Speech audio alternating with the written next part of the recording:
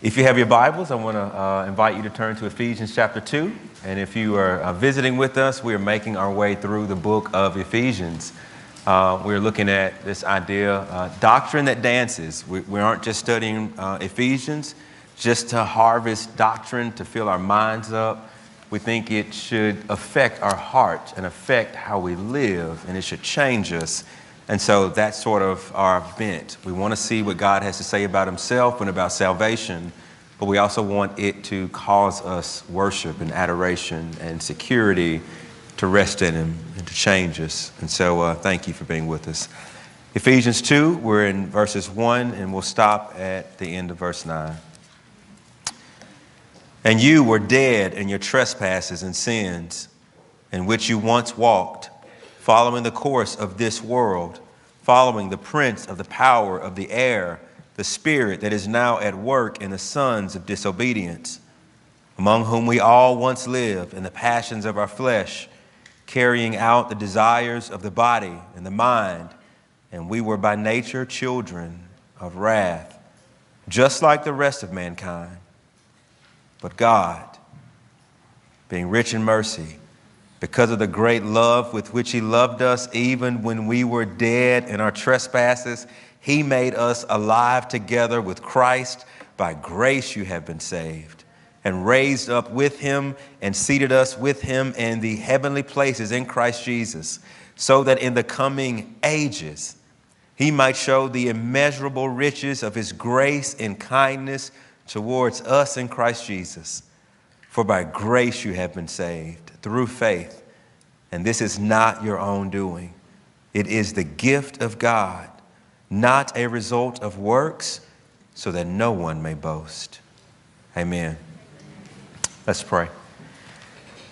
Our Father and our God, we ask now for wisdom. We ask now for your Spirit, the one who borrowed Paul's mind and borrowed Paul's hands and borrowed Paul's personality, and he wrote this letter being led by you. We pray, Holy Spirit, the author of Scripture, that you would also work in our hearts now to bring understanding and joy and worship and clarity and reverence and awe. Would you have your way with us? We pray for the glory of Christ. Amen. Remembering and forgetting those are two sort of common experiences for everyone. And there are times when forgetting things, when it's really good. And I'll give you an example. A young lady who, uh, a young girl who walks in at, let's say she's age 10, and her mother's had a, a massive heart attack. And she walks in 10 minutes too late and she sees her mother lying on the kitchen floor that while other girls her age, they might want an iPad or they might want to watch a, their show on television, for this 10 year old girl, she wants to forget, right? That every night when she goes to bed, that that is the image that puts her to sleep of seeing her mother in that posture. She doesn't want to forget her mother, right? She loves her mother, but she, she wants to forget that image.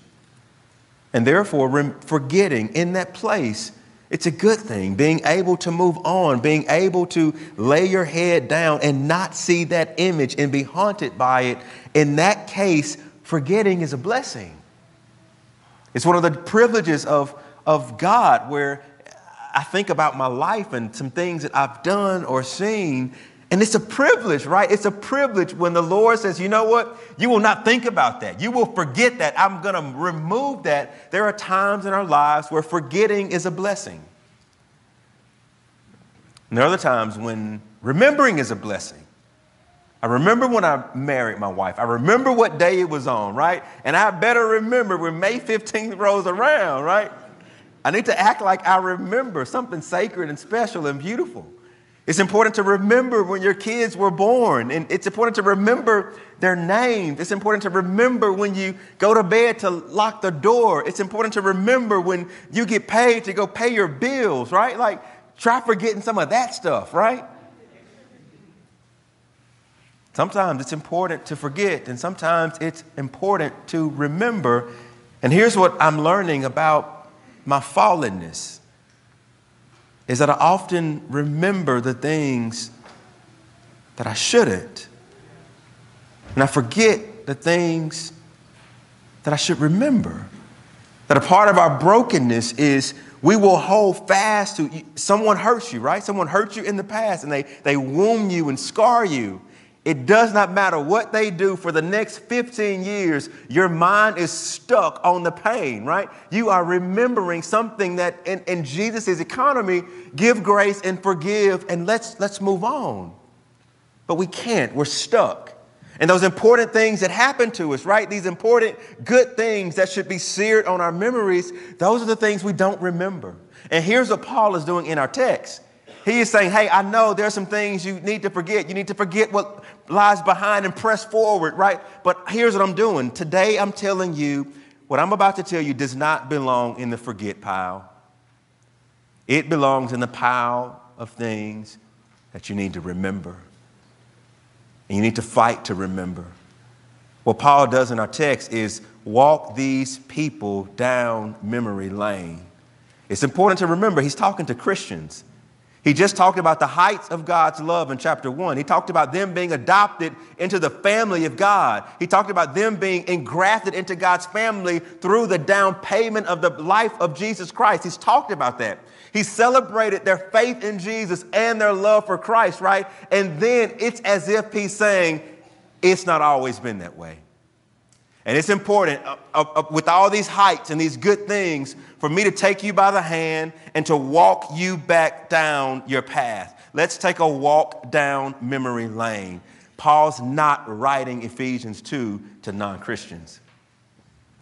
He's writing it to Christians, Christians that he has just celebrated. And he thinks it is so important that though they are loved and accepted, that they remember that things were not always this way. And the case that I want to make is that that's important for us. If it was important for them to walk down this path of remembering, then it's important for us. As a matter of fact, you, you see it in chapter 2, uh, all the way through 1 through 9, he's jogging their memory. And then he picks it back up. Look at chapter 2, verse 11. Therefore, remember that at once. So, in other words, what Paul's doing in chapter 2 is walking them back in history. Now, he wants them to never forget that they were dead. That's the first thing. That Paul would not be popular in our day. That one of the reasons why I think he got beat down in a lot of the cities is because he did not come in there with this lofty view of humanity. He came in there saying, Man, we're dead, right? That, that if he wrote a book and, and, and his, his anthropology, it would not sell on our modern bookshelves because he does not think that mankind is fundamentally alive towards God. He does not think that mankind is fundamentally good in the sight of God. And it matters what we think, but what matters most is what God thinks about us and how God sees. And what Paul says God sees you were dead. You were dead in your trespasses and sins in which you once walked. You followed the course of the world. You followed the prince of the power of the air, the spirit that is now at work in the sons of disobedience. And that's a lot and you got to unpack it. And the first thing we see is that Paul, when he looks at humanity and what these Christians were, he says, You were dead and you walked. You were dead in your sins and you walked and you followed the course of the world. You followed the prince of the power of the air. So think about that, Th- that image, right? Walking dead. It conjures up the name of a series, right? The Walking Dead. And in, in, in, in that storyline, it's the the zombie apocalypse where you have these dead people kind of walking around like this, you know. And here's what Paul is saying: it's like that's actually a biblical, that's a good view, right? That's, there's some truth in naming that and starting that series. It's actually telling us more than we think it is. And Paul says, at one point you were dead, and therefore you walked. Now, it makes perfect sense that if you were walking, Paul says, where, where were you going? He says it. You were following after or going after the course of this world. This path that you were on was the path of the world. And at the end of it, at the end of it was destruction and wrath, and it awaited you. That's what at the end of the path. And here's what he says you weren't just walk following the course of the world, that you weren't just a dead person walking, but at the front of that line was a mighty ruler. Look at what it says that you were following the course of the world, and you were also following the prince of the power of the air, the spirit that is now at work in the sons of disobedience. Here's what Paul is saying at the front of the line is Satan. And Satan is a spirit, an evil spirit who revolted against the Lord, who hates the Lord, who hates God's people, who hates God's glory, who hates God's gospel. And at one point, Paul says, You, you were dead in your trespasses and sins, and you followed the course of the world, and the course of the world is following after the spirit. Now, notice what Paul says about the prince of the power of the air, which is the spirit that is now at work First, he says he's now at work. So notice he doesn't go past tense. Even though he's taking them past tense to where they were, they were dead, he doesn't say you were following the course of the world, the spirit who was at work. He says, no, that same spirit who enslaved you, who you were following after, he is now at work, still at work right now. And, and, and how were you labeled? Look at what it says. You are a son of disobedience. You did not desire God. And that sonship word is important because it's being contrasted with this idea that God chose you before the foundation of the world to be adopted through Jesus Christ as a son. And here's what Paul is saying. At one point, you, even though you're in and you are a son of God, this has not always been true. At one point, you were co signed to the devil and you were a son of disobedience. Now, who does this apply to, right? Who, who does this apply to?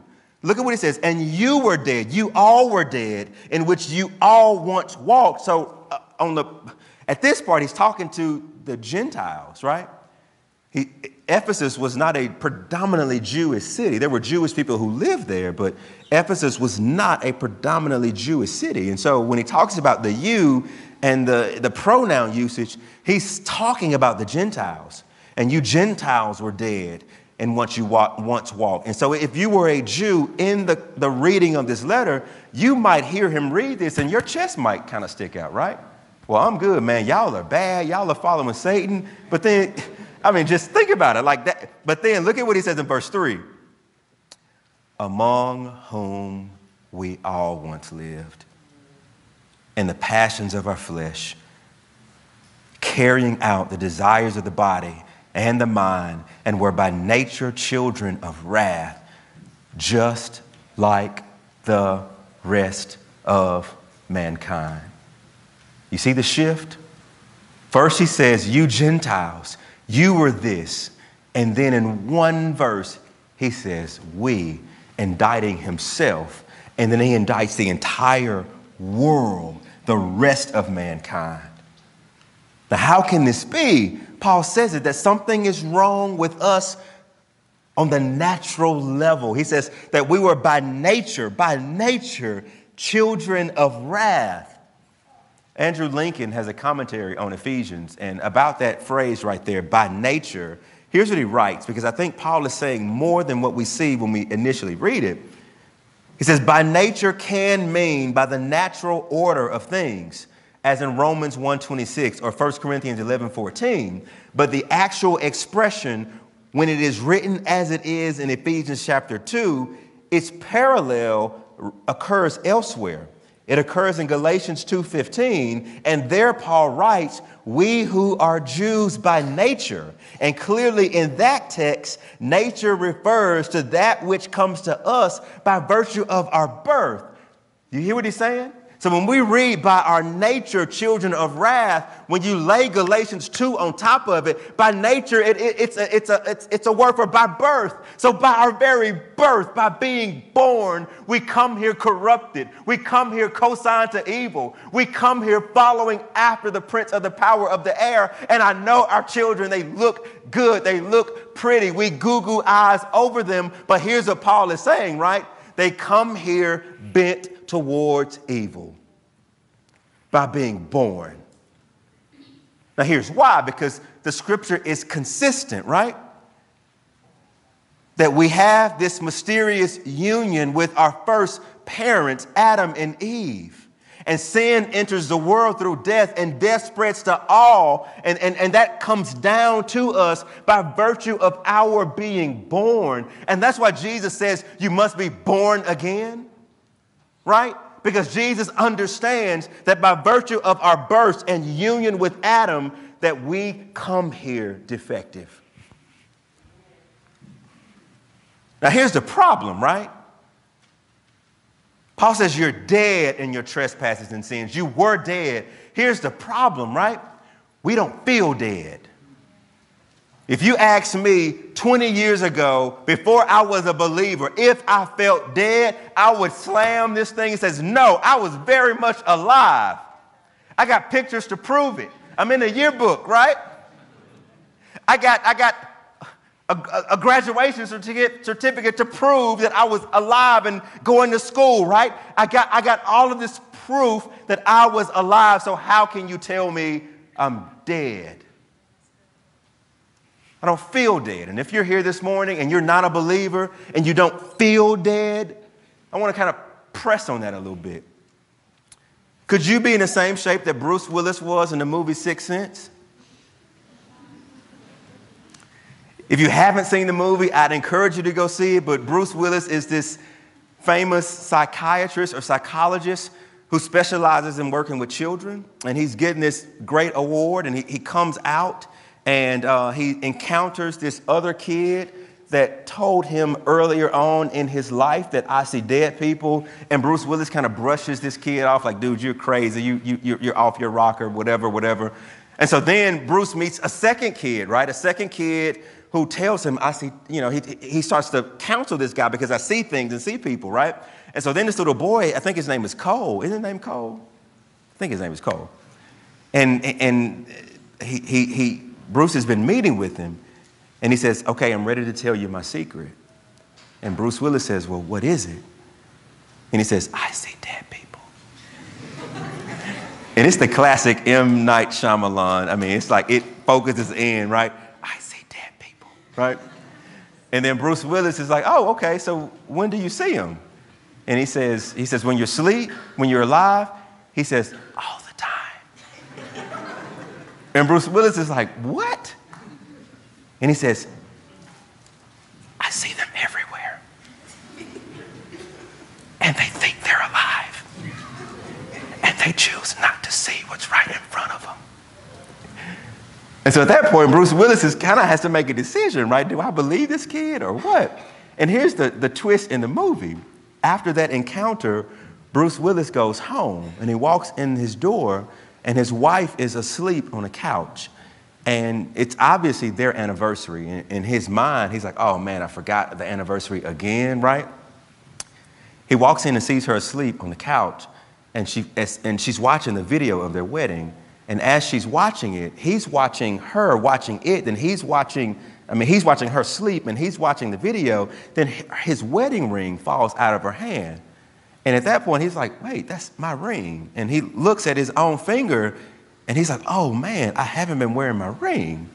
And so then he's like, oh, okay, that's weird. Then he goes to the kitchen table where they had supposedly had dinner, and there's not two plates at the table, there's one.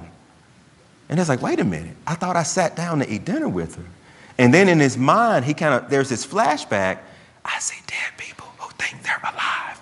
And he hears that again, and then his mind takes him back to the time that they went out to dinner, and he tries to reach for uh, the, the, the check, and his wife takes it and she pays for it, and it hits him like right then that he's dead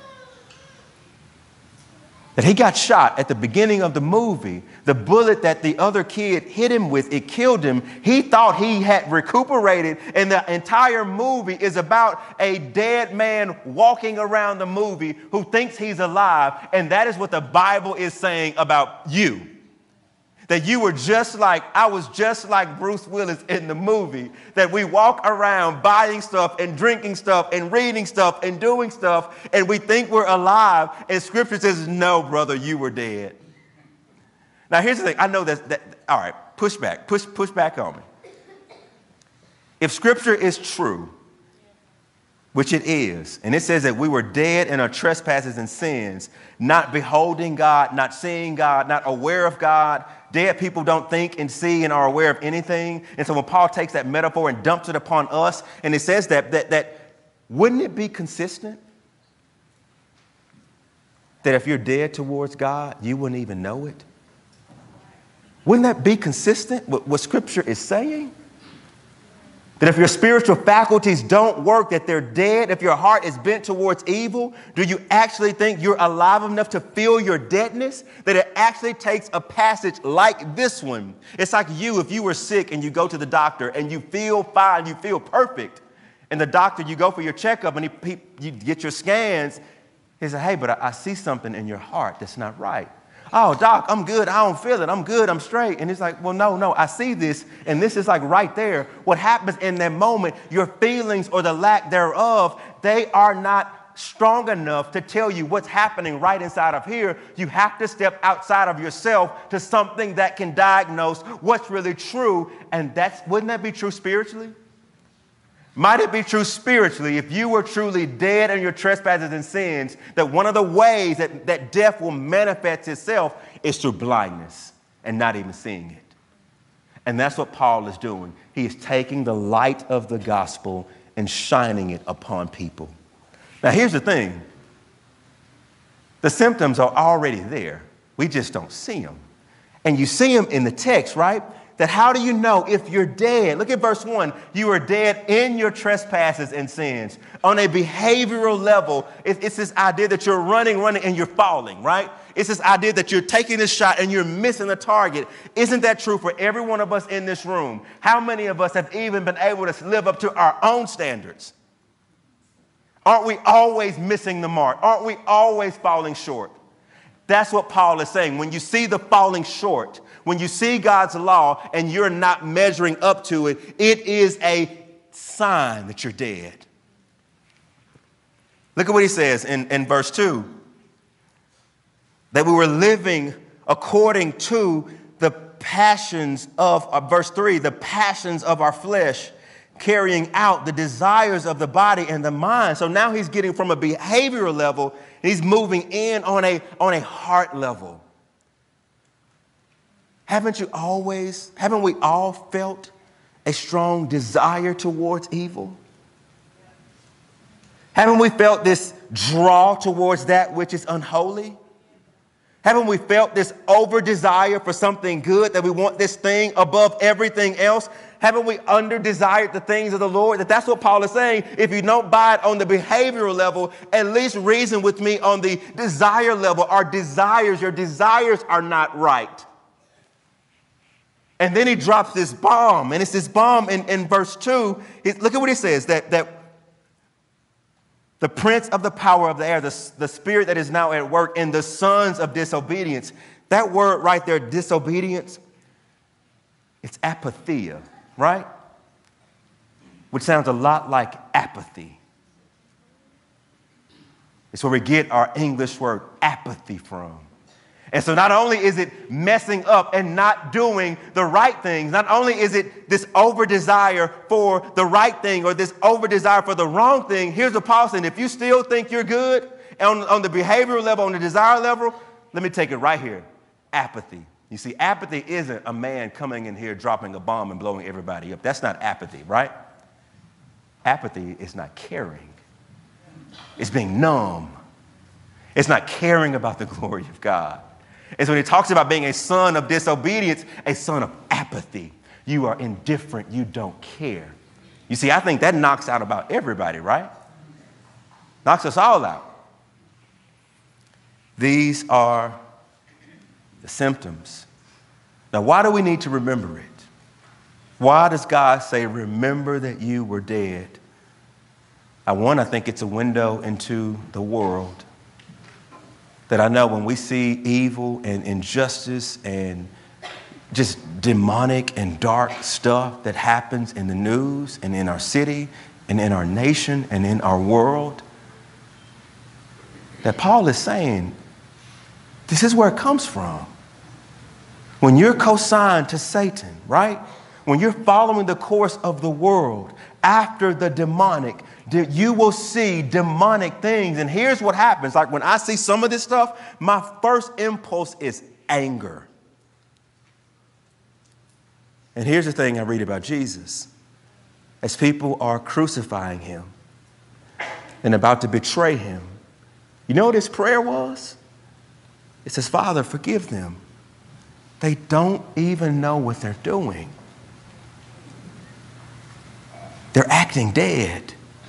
They're doing what dead people do. Dead people destroy life. Dead people rebel against God. But even as Jesus is going the way of the cross, he sees, Father, they're dead. And Father, they don't know what they're doing. I think our knee jerk reaction can't be anger. Anger at sin, yes, but compassion towards dead people. Compassion. I think this is a window into a truly healthy covenant community that Paul regularly reminds his readers of his former life. In Ephesians 2, he says, We all did this. In 1 Timothy 1, I was formerly a blasphemer, a persecutor, a violent man. I acted in ignorance and unbelief. In Romans 7, I did not know what it was to covet until the law told me. And when the law did tell me, I became covetous in all types of ways. Romans 7, the good that I want to do, I do not do. The evil that I do not want to do, that is what I keep on doing. Galatians chapter 1, they heard in my former life, I persecuted the church and tried to destroy it. In other words, this is the super apostle apostle who's been caught up into the third heavens, who's seen visions and dreams and things that he can't remember, and you want to know his way for loving people? It was not this posture, you get it together, right? It was like, you know what? I was in that line with you, homie. I was right there with you in this. I know what it's like to be yoked up with evil that C.S. Lewis, this quote about friendship, that, that he, we, we quote him a lot, right? And I think we miss the, the other side of it, right? He says, friendship arises out of mere companionship. When two or more companions discover that they have in common some insight or interest or taste which others do not share, which until that moment each believed to be his own unique treasure, and he says, and or burden.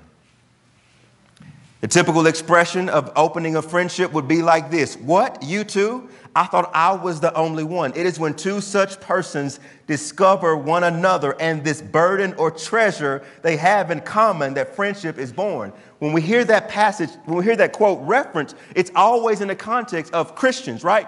Christians, we have Jesus in, in, in, common. Now we have each other in common, and let's go this way. But in the original, in the original quote, it wasn't just Christians. It says treasures or burdens.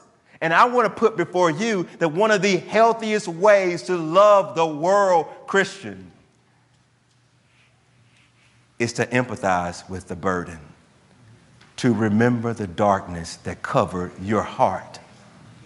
See, if we can get together and do church and only show how strong and mighty and how deliberate we were, we will never create an atmosphere for broken people. But if we can own them both, I'm friends with the church because of our union with Christ, and I can relate to the world because my bondage in sin, my former bondage in sin. See, I think Paul is setting us up for something greater in the rest of the letter where he's actually teaching them how to be the church. He says, We got to walk down memory lane. You have to. You have to remember that you were dead. The second thing Paul says is don't forget who rescued you, and it was God. God didn't leave you. This is like the most, uh, this is the most, one of the most important passages in the scriptures. You get all of man's condition in verses one through three, and we were by nature children of wrath like the rest of mankind, but God, right? If I could just read that right but God, right? You could just like, just stay right there, but God, right? Like, it's important.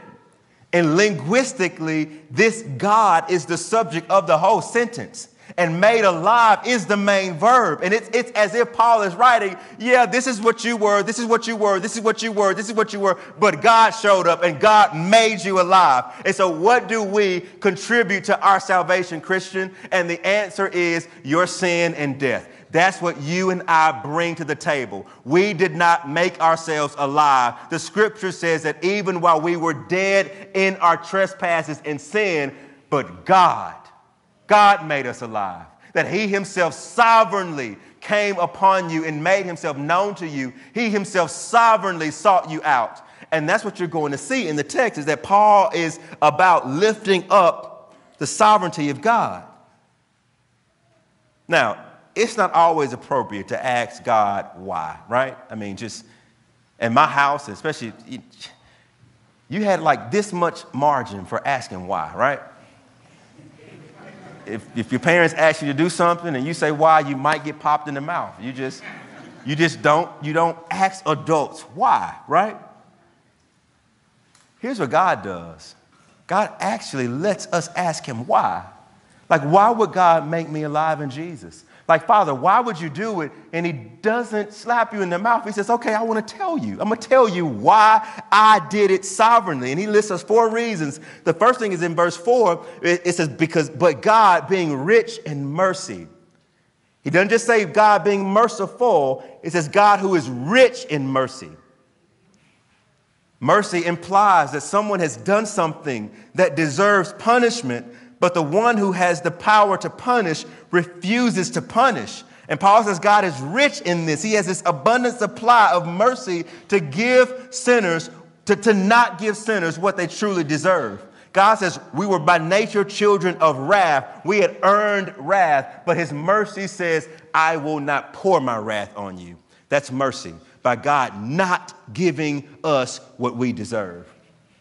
He's merciful, he's rich in it. Verse 4, because of the great love with which he loved us. Again, he doesn't say because he loved us, it says his love for us is great. Now, what moves this God who has the power and right to punish sinners with his wrath? What moves him to not do it? It says his great love. Now, why is his love great? Think about Ephesians 1. It says, This love with which he has loved us even before the foundations of the world. His love is great because his love is old and it predates all things. His love is great also because it is not just an, a verb, it is not just a feeling, it is a verb. Notice what it says that even because of the great love with which he loved us, verse 5, even when we were dead, he made us alive. So, right there, get, get the nuance. It's a love that moves towards you in your deadness to say, son or daughter, live. Follow me. Be mine. That it sounds a whole lot like Hosea chapter 3, if you've read that prophet, that Hosea has to marry Gomer, and Gomer isn't the most faithful wife. And Gomer leaves Hosea, and he, she goes and she lives with another woman. And in Hosea chapter 3, you know what God tells Hosea? He says, Go. That's the commandment. Go. Love a woman who is loved by another man and is an adulteress, and bring her back into your home. As such does the Lord love the children of Israel. Think about this image that we were dead in our trespasses and sins, following the course of the world, following after Satan. And God says, I love you, I love you, but not just love, I love you, now you come to me. It's a love that says, I will go to you, that even when you were dead in your trespasses and sins, I say, rise, and I say, you come home and you be with me forever. It is that type of love that it pursues people. Look at verse 5. The third reason, it's by grace. By grace you have been saved. You see, mercy is God withholding something that we deserve, namely punishment. That's one side. Grace is the other side.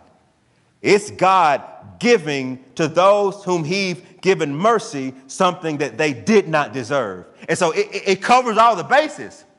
Mercy says, Lord, you, your wrath needs to be poured on me, and you will choose sovereignly because you love me not to pour it out, but not pouring out your wrath is not where God wants to stop. God wants to do more than not just pour his wrath on you. He wants to lavish you with the righteousness of his son. And that is grace. And that, was, that is what makes grace and mercy different, but they complement each other. And notice what he says about this grace. About this grace, go down in verse 7. it, it, it too is immeasurable. Why would God do it? He's rich in mercy. Why would he do it? He loves you with a great love. Why would he do it? Because his grace is immeasurable. Why else would God do it? Verse 7 so that in the coming ages he might show off the immeasurable riches of his grace and kindness towards us in Jesus. Can you believe that? That one of the reasons God wants to save us and does save us is to show off his own kindness and grace to demons, to Satan, to the watching world. We are like trophies of grace. All right, I, so I, am a basketball fan, and I, I'm so glad that NBA basketball has started. So, look, man, I, I, I got LeBron here, and, and here's the thing mankind, we've always been showcasing our accomplishments forever. If you got two or three degrees and I walk into your office and you're going to let people know you have a bachelor's and you have a master's, you have a PhD, it's going to be out there on a wall, right? We celebrate what we do. On your resume, you can't make it one page, you got to make it two or three, right? You're listing all the things that you've accomplished. And these athletes do it as well, right? Now, there's a meme I was going to put up here, right? but it, it has like LeBron, and, and, and LeBron is like, hey, Kobe, look at here, right? And he has his little trophies. And then the next slide, Kobe's like, kid, please, right? and so he has more championships. And then the next slide, and Michael Jordan is, he's sitting there smoking a cigar, right? He, he's smoking this cigar like, little kids, please, right? And then John Wooden, who's a coach of UCLA, he's like, oh, little boys, it's not even a game, right? That's John Wooden, coach at UCLA. Here's what we've been doing from the beginning of time celebrating a trophy, celebrating those things in life that we have accomplished and putting them on display for the world to see. And here is what Paul is saying about you you're a trophy. He's putting you on display wherever you go, now and for the coming ages.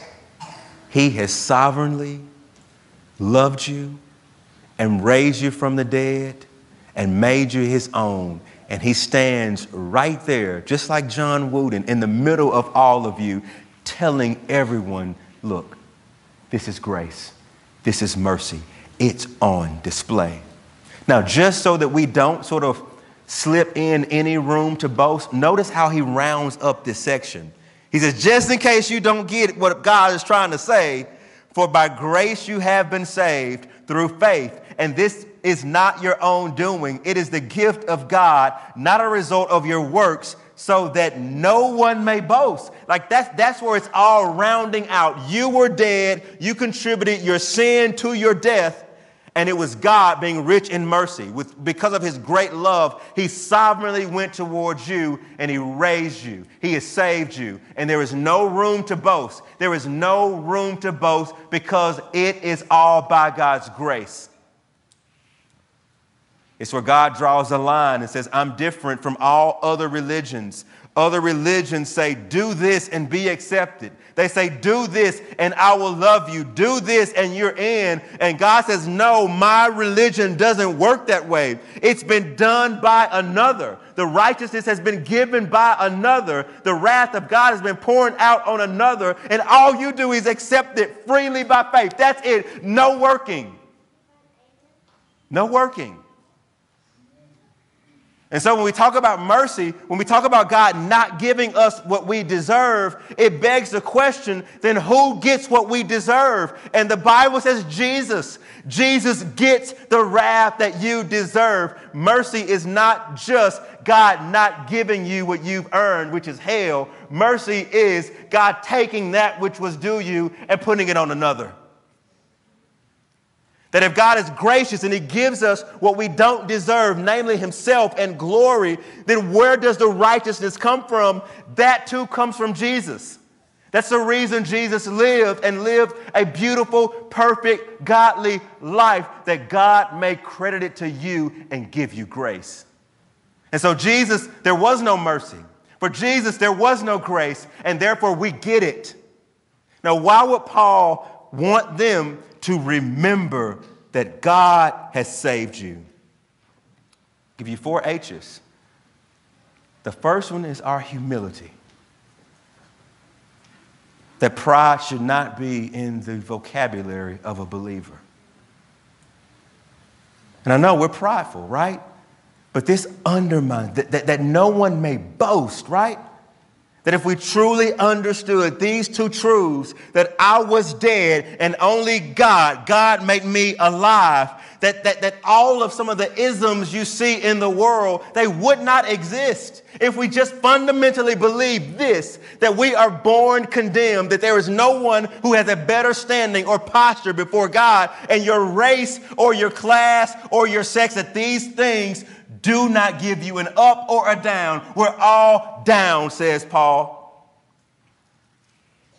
I think Paul is setting us up for something that's going to come later when he talks about these Jewish Christians and these Gentile Christians and their way to move forward together. And you have the Jews over here who have all the rights and all the privileges and all the history and all the writings and all the revelation. They have this. And now you have these Gentiles coming in. And it might be tempting in this place to look at them with disdain, to look at them with arrogance. And what Paul says is no, no, you can't. No one is righteous. No, not one. Not Jew, not Greek, not black, nor white, not Mexican, not, not anybody. Like, no one is righteous. Not one person. And therefore, no one can stand up before God and hold their chest out like you've done anything. We are, have all fallen short of the glory of God. This is for our humility, our mutual humility moving forward. That, that, that if we really got this, when you got like sort of early American history, that racism wouldn't exist, right? Like if, if we actually believe this, I'm reading this book by the, it's The Baptism of Early Virginia by Rebecca Goetz. I guess that's how you say your name. And she talks about this term, hereditary heathenism. And it was this term that was kind of thrown around in early American history in which they assigned dignity to people based on skin color. And so if you were brown skinned, you were deemed a hereditary heathen, incapable of saving grace. And therefore, it's okay. It's okay because I have, have marred the image of God in you. You, are, you cannot be saved, right? That that was the posture. And therefore, as you lived life then, you sort of live with this dual reality like I'm spiritual, I'm good, and they're less than me. And here's the thing that's a really good term hereditary heathenism. But you know what? It needs to be applied to everybody. Everybody. We're all hereditary heathens. We're all born here incapable of saving ourselves. Skin color does not make you more prone to being a heathen. It's your union with Adam. You're a heathen because you're united to your Adam, who's the first heathen. Right?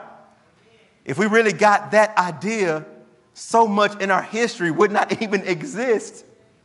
It's pride. The second reason I think Paul takes them down memory lane is for hope. It provides hope because I know some of you live in homes where one person is, is a believer and one is not.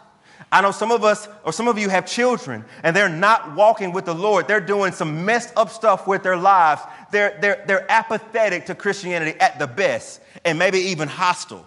And I know what it's like to pray and to hope and to want and to want them to. I, look, I don't care what you do, I just want you to know Jesus. You know, that, that's kind of my prayer now for my kids. Talking to my wife last night, I said, babe, I just want my kids to know the Lord. I, that, that's, that's about it right now, you know? They know Jesus, we good, you know? But I know some of you live under this cloud. Man, my husband's heart is dark. My son's heart is dark. And they're not following the Lord. And the hope of this passage is this that God, but God, being rich in mercy, because of the great love with which He loved us, God Himself can make even the darkest heart alive. This passage is hopeful. The third thing this passage does is it, it helps us, right? That this same God who is rich in mercy, who has great love and, and, and, and immeasurable grace, you do know that He doesn't change. He wasn't just that for you when you got saved. And now He's a taskmaster saying, just do right, right? You do know that His posture towards you is the same now. So when you need mercy, He has mercy to give. And when you need love, He has love to give. And when you need grace, He still has grace to give you right now. He is the same yesterday, today, and forever. And your Father who reached in to save you is your Father who looks at you this way all the days of your life. The fourth H is for hallelujahs, right? I just threw that in there because I feel like so, so much of Ephesians is about God doing these things to the praise of his glory, right? And so when we gather and sing every week, you know what we're doing? We're actually remembering this. So much of the, the many of the songs that we sang today, they're tied into this, that one of the ways that we respond to being dead and God saying live and God saying rise is through praise and adoration. It marks us. That's why we sing every weekend. That's why we sing Christian to celebrate the goodness of God. He says, Remember these things. The last thing he says, Remember, don't forget that you are seated with Christ. If Ephesians 2 and 8 and 9 help us to understand how we are saved in the past, Ephesians 2 6 helps us to understand our identity in the present. If you remember what Paul said about Jesus last week when Paul prayed, look at what he says. He says, I pray that the God of our Lord Jesus Christ, the Father of glory, may give you a spirit of wisdom and revelation and knowledge of him. I'm in verse 18 having the eyes of your hearts enlightened, so that you may know what is the hope to which he called you. And go down to verse 19. And what is the immeasurable greatness of his power towards us who believe, according to the working of his great might that he worked in Christ when he raised him from the dead and seated him at his right hand in the heavenly places, far above all rule and authority and power and dominion. So, right there, Paul says, I want you to know, I want you to remember God's great power. He raised Jesus from the dead. He seated him at his right hand in the heavenly places. We confess that whenever we do the Apostles' Creed, but look at what he says here about you, Christian. Look at verse 6. And he raised us up with him and seated us with him in the heavenly places. In other words, he's talking about this reality about Jesus who was dead that the Father raised, and the Father just didn't raise him. He put him at his right hand in heaven above all power and dominion and earthly names. And you know what Paul says? That is true for you. You were dead in your trespasses and sins, and God says, live. And God raised you. And here's the beautiful thing and God has seated you in the heavenly places. Now, that's a beautiful truth. And here's why it's beautiful. I often think about my life, right? Down here. And so I'm living life down here in this realm, and I'm fighting sin, and I'm pursuing holiness, and I'm being assaulted and attacked, and life is hard. And it's really easy to forget that if you are a believer, you are in two places at the same time. Your feet are on the ground, and you see the suffering, you feel the temptation, and you see the injustice, and it hurts and it presses in. But here's what Paul is saying What's also true about you, if you are in Jesus, you know where else you are and what else you are? You're seated right up here with Jesus in the heavenly places above all earthly rule and power. And what this means is you're living in two places, Christian. You're on the earth, but he says, don't lose sight that you also reign with Jesus. You're also with God in the heavenly places above all earthly rule and power. And therefore, Satan does not have the chains on you anymore. Therefore, you can make strides in holiness. Therefore, you are above the fray and you know the schemes of the devil. Therefore, you can actually, by faith and armored with God, live out this faith in a way that pleases the Lord. You are Christian, seated with Jesus in the heavenly places, even though your feet are on the earth. And he says, Don't forget it. Don't forget it when you're about to lose it and fight in your marriage. Don't forget it when you're being tempted to go do something that you are not a weakling in the strictest sense, that the, the, bond, the bondage of sin is over with. You reign with Jesus, you rule with Jesus, you are in the heavenly places. And Paul says, Remember that. Remember that. Remember it. That's coming a long way, right? That we were consigned to evil, following the course of the world, following the prince of the power of the air. And now God says, No, you follow me. That we were by nature carrying out the desires of the flesh and we were children of wrath. And God says, No, you're not sons of disobedience. You're my sons and my daughters now that your passions, they, they, they got over on you and they enslaved you, but not no more. I've cut that. You're alive to God now. You can offer your body as a living sacrifice right now through the power of the Spirit. These things are true. And Paul says, I don't want you to forget that because I'm going to call you in this book to do some radical, hard things. And you have to do it from a place that you have everything in this life to do it through the gospel. That's coming a long way, right? That's coming from death. And now we reign.